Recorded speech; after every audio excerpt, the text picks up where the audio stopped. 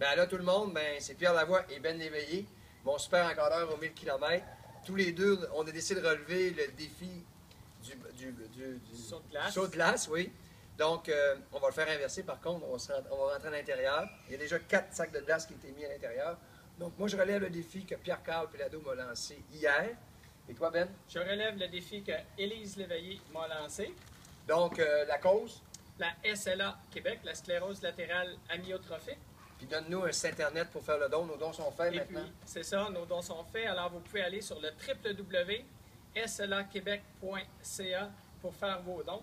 On est très contents. C'est une maladie génétique orpheline. Au Québec, il y en a tout près de 800. C'est des maladies qui sont dans l'ombre. Tant mieux si celle-là peut, peut avoir une belle visibilité. On est très fiers. On est très fiers de la supporter, moi et Ben. Donc, euh, on est habitué au bac de glace. Là, quand on fait 1000 km, on peut se refroidir euh, les jambes, on fait l'occasion. Mais Aujourd'hui, ben, disons que ça ne nous tente pas trop. On va le faire quand même pour la cause. On fait un petit clin d'œil à Marc Lavigne et Oui, à Marc. Gérard. Marc Et a toujours été là à chaque fois qu'on passe à Granby. Il est décédé l'année passée. Donc, Marc, on est avec toi. Et Alain qui a pris sa relève. Hein? Pierre, t'es prêt? Oui, il est prêt. Un, On y va. deux, Au complet. Au complet. complet. Complet? au complet. Yeah!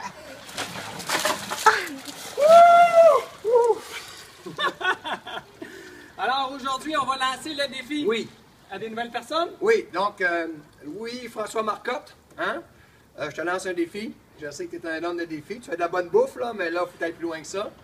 Euh, bien entendu, Jean Tremblay, Lala, Jean Tremblay, le maire de Saguenay, le seul et l'unique. Et également Pierre Boivin, ex-président du Canadien de Montréal. Donc, euh, c'est mes trois candidats que j'aimerais qu'ils puissent relever le défi d'ici 24 heures. Alors moi, je lance le défi à François Bonnardel, député de Granby. Également à Jesse J. Anderson, qui adore l'hiver, alors embarquer dans la glace, ça lui fera pas peur.